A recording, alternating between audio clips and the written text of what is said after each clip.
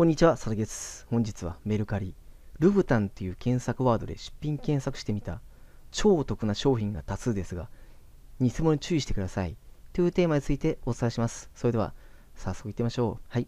えーこの動画ではですね、えルブタンですね、この検索ワードで調べてきました。ぜひね、まあ、商品状態をね、ぜひ紹介させていただきます。はい。えーこちらですね、ルブタンですね。はい。で、検索して、まあ、ここですね、売り切れをするんですけども、非常にたくさん出てるんですよね。はい。まあ、例えばなん、なんでもいいんですけど、まあ、例えば、ここら辺とかね、まあ、こういう、ルブタンで押してみて、まあ、調べてみるんですけど、あの、ブランド、このブランドっていうのは非常にですね、あの、まあ、フランスのブランドで人気あるんですよね。で、こう見ていまして、まあ、ミッションに近いってあるんですよね。で、まあ、これは箱とかですね、まあ、出てましていいと思うんですけど、あの、こういう高級ブランドですね、あの、まあ、私もですね、被害受けたことあるんですよね。イタリアから、まあ、ある商品で輸入したときにあるんですけど、あの、商品のですね、ロゴがですね、入ってないんですよね。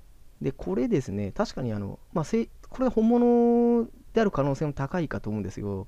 で、あの、紙とかですね、保証書がないとですね、高級のブランドって非常に怖いんですよ。はい。なので、あの、このルブタンを見たときにですね、結構ですね、出して、まあ、中古なんで、まあ、なくなってしまったとかもあると思うんですけど、もうぜひね、あの、保証書がない場合ですね、偽物である確率は高いです。で、今ですね、偽物を作るのですね、あの、バングラデシュとかね、ああいった外国で結構作ってるんですよね。中国で作ってる場合もあるので、ぜひね、あの、こういうの購入するときにね、ぜひ気をつけていただければね、いいかと思います。はい。はい、えー LINE 登録お願いします。LINE 登していただきますと、えー30分無料コンサル、10万円稼げるマルチマニュアルプレゼンします。ニックネームかスタンプお願いします。あと、YouTube が質問です。一切受け付けてません。LINE アット登録によろしくお願いします。